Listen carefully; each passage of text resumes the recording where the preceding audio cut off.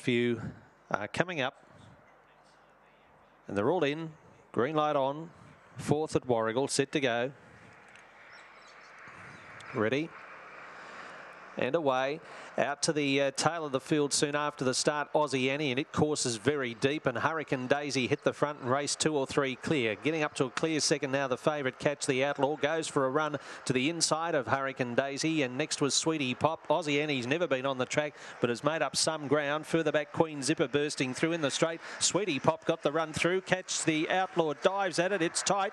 Coming again, Hurricane Daisy. Out wide are Aussie Annie. Queen Zipper the inside. They were across the track. She's uh, Miss Awesome pulling up quickly. Hot Asia and it to you back with those in 23.34. Photo here, race four. Good finish.